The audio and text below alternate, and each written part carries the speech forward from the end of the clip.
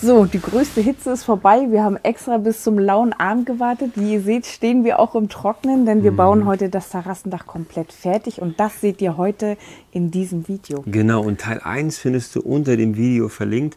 Ja, wir wünschen euch ganz viel Spaß ja. dabei.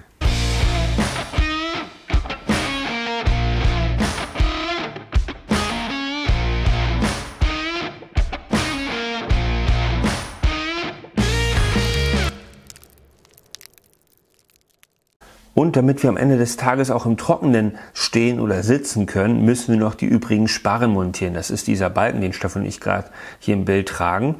Zwei äußere haben wir schon im letzten Video montiert, einmal den linken und einmal den rechten Sparren, um das ganze Terrassendach ähm, auszurichten. Insgesamt haben wir sieben Stück und fünf fehlen noch, je nachdem wie breit das Terrassendach bei euch wird. Und die fünf inneren, die montieren wir heute, das ist wirklich ein Kinderspiel. Sprich, dank des Abbodens, dank, dass der Sparren schon fertig ausgefräst ist, passt er wirklich passgenau in die Wandfette und in die Fußfette. Das Ganze auf Position gerückt, dank den Markierungen, wirklich ein Kinderspiel. Und dann wird das Ganze von oben jeweils mit zwei Schrauben verschraubt. Achtung, die Gummianlage, die wir im ersten Video schon bereits vormontiert haben, sprich die Glasauflage, wo später dann unser VSG-Glas raufkommt, die könnt ihr dann über die Schraube legen und dann wieder festtackern. Dank der Frauenpower und dank der Männerpower haben wir diese fünf Sparren wirklich innerhalb von wenigen Minuten aufs Dach gebracht und fest montiert und natürlich gutes Werkzeug. Ich hatte beziehungsweise bei der gesamten Bauphase habe ich hier diese zwei Leiter mir besorgt und die sind wirklich unschlagbar. Wie immer findest du unten in der Videobeschreibung alle Infos zu diesem Projekt und auch das nötige Werkzeug, was du jetzt in diesem Video siehst. Das wirst du unten nochmal alles genau aufgelistet finden. Und jetzt bereiten wir unsere Aluminiumprofile vor. Im ersten Profil zeichnest du die Bohrpunkte an. Im Anschluss überträgst du mit Hilfe eines Winkels die Bohrpunkte auf die anderen Profile. In der Mitte findest du eine Rille, die zeigt dir mal ganz genau die Mitte an. Dann bohrst du das Ganze mit einem Metallbohrer vor und wir sind schon fast fertig mit der Vorbereitung. Noch links und rechts ein Anschlaggummi hineingezogen. Das kannst du einfach hineinziehen und dann müssen wir noch einen Abtropfwinkel anbringen. Diesen fixierst du mit zwei selbstschneidenden Schrauben. Und fertig sind unsere Andrucksprofile. Die halten später das Glas mit den Sparren zusammen fest. Wir haben uns für Verbundsicherheitsglas entschieden, sprich VSG-Glas satiniert.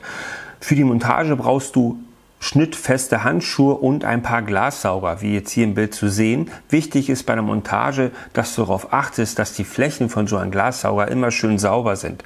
Es kann nämlich sein, wenn jetzt da zum Beispiel ein Steinkorn ist, dass die Funktion nicht richtig gewährleistet ist und dass sich so ein Glassauger lösen kann, das wäre natürlich fatal. Für unsere Glasscheiben, die eine Länge von 5,50 Meter haben und eine, ein Gewicht von etwa ungefähr 100, 110 Kilo, haben wir uns ein Glaslift besorgt. Dieser hat auch solche Sauger, nur etwas größer, vier Stück an der Zahl und mit diesem Lift sagt ja schon der Name, kannst du das Glas auf Position hochfahren.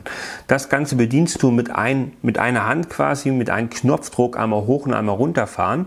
Sprich, du brauchst jemanden, der den Glaslift bedient und ein Mann an der linken Seite und ein Mann an der rechten Seite und dann kannst du das Glas quasi durch die Sparen hochführen, den Glaslift an der gewünschten Position hin und her schieben und dann das Glas vorsichtig ablassen. Sprich, das Ganze kannst du mit drei Mann machen oder mit zwei Männern und einer Frau. Oder du hast sechs bis acht kräftige Nachbarn, die dir mal ganz schnell einen halben Tag helfen und die Glasscheiben auf Position bringen. Es gibt von der Firma Steder auch ein Glasmontage-Video. Es gibt nämlich eine spezielle Technik, wie du so eine Scheibe auf dein Dach bekommst.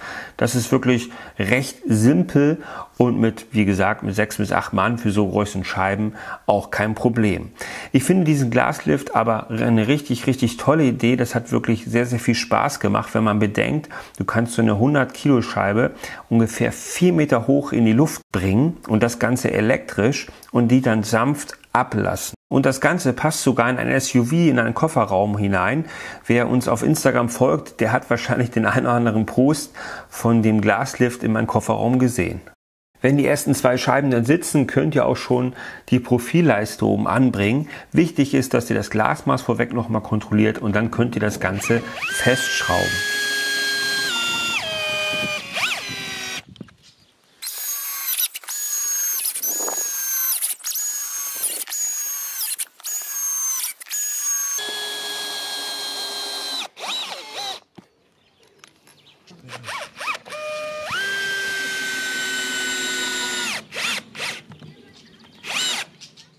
Beim Betreten der Glasfläche solltet ihr darauf achten, dass ihr immer zum Sparren hingeht. Sprich, versucht es wirklich auf den Sparren draufzugeben. Bei Doppelstegplatten ist das so, da kann ich euch wirklich empfehlen, legt euch eine Bohle oben drauf oder eine große Platte, wo ihr euch darauf bewegen könnt. Im Anschluss bringen wir dann die Deckelleisten zum Einsatz. Die werden einfach auf die Andrucksleisten oben mit einem Schonhammer raufgeklopft. Und jetzt gibt es noch zwei Punkte, die wir erledigen müssen. Ja, richtig. Das Wandanschlussprofil müssen wir jetzt setzen. Das ist eine Aluminiumschiene ungefähr 180 mm von der Tiefe her und rein theoretisch bräuchten wir die jetzt nicht. Ihr seht, der Dachvorsprung, der würde eigentlich genügen. Ich bringe sie aber trotzdem mit an. Und verwendet hierbei bitte kein Sanitärsilikon. Das würde durch die Witterungsverhältnisse und durch die UV-Strahlen porös werden, sprich der Wandanschluss würde auf Dauer undicht sein. Am Ende schneidet ihr noch das überschüssige Gummi vorne ab. Ja, und fertig ist eure Terrassenüberdachung. Ob es jetzt VSG, sprich Verbundsicherheitsglas sein soll, satiniert, klar oder in Bronze oder ihr entscheidet euch doch für Doppelstickplatten. Dazu gibt's noch mal mehrere Infos unten in der Videobeschreibung. Schaut dort einfach mal vorbei. So, abgeschlossenes Projekt. Ne? Abgeschlossen. Ich danke dir für deine richtige Kraft, wie man für dieses Projekt, wie ich finde, echt brauchte. es ist wirklich massiv, wunderschön. Mhm. Ja. Leider gehört's nicht uns. Aber gut. Aber trotzdem. ja, es ist äh, ja, ein sehr schönes Projekt geworden. Ja. Wenn ihr Fragen habt oder Anregung, lasst die einfach als Kommentar da. Wir versuchen die zu beantworten. Du auch, ne? Mhm. Und ich auch. Ja, und wir hoffen, euch hat das ganze Projekt gefallen.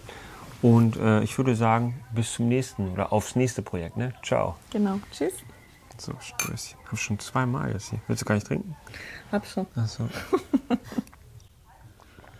oh, leckerer Gin. Mit Erdbeere und Minze. Mhm. Das ist ja gut gemacht. So, was machen wir jetzt? Das bauen wir uns auch eine Terrassenüberdachung bei uns zu Hause hin. Ne? Markise. Haben wir genug geübt hier. Eine Markise? Nee, hier brauchen wir noch eine Markise. Eine Aufdachmarkise. Die die Hitze gleich von vornherein fernhält.